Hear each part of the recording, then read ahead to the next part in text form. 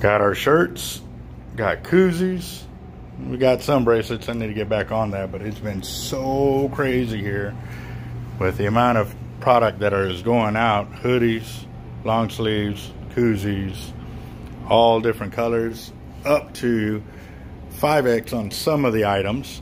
Granted, with the coronavirus, it has made it difficult to keep getting all kinds of crazy uh, numbers on there, and we just had some customers come through here, so I got to go through. So excuse my mess, we got to clean it. But we've got the shirts of all kinds of sizes, got hoodies and great colors.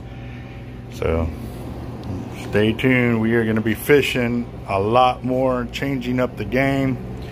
Y'all going to be able to keep up. I know I'm going to try. It's definitely coming, guys. So, you, you lovely colors. I'm telling you, the video